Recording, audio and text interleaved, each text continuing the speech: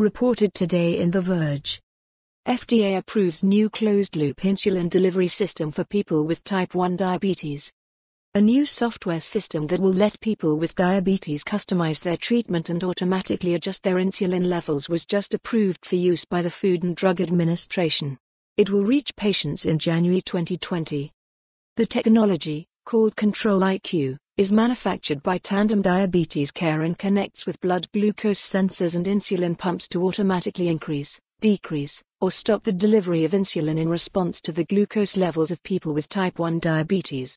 People with type 1 diabetes can't produce their own insulin, which regulates blood sugar, aka glucose, so they need to take it from an external source every day.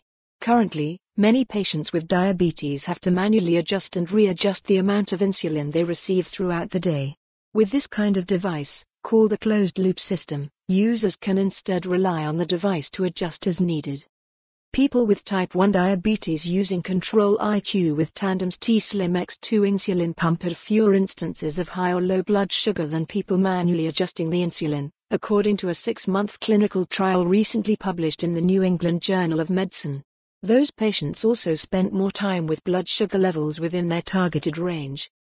Other closed-loop systems have also gotten FDA approval. One central difference with this software is that it is considered interoperable. That means users are not locked into using products by Tandem Diabetes Care.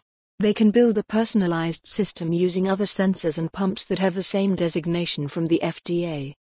Control IQ can currently be used with Tandem Diabetes Care's T-Slim X2 insulin pump, which was approved as interoperable in February 2019, and Dexcom Incorporated's G6 continuous glucose monitor, which was designated as interoperable in 2018. The software system can also automatically deliver a corrective dose of fast-acting insulin if it determines that a user's blood sugar levels are too high.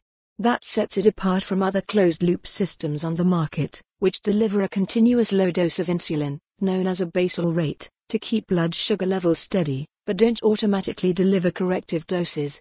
Medical device company Medtronic, which had the first closed-loop system on the market, is now testing an addition of the same feature to their device. People who use Tandem's T-Slim X2 insulin pump will automatically upgrade to the new system for free in January 2020. For more on this story, visit the news article link.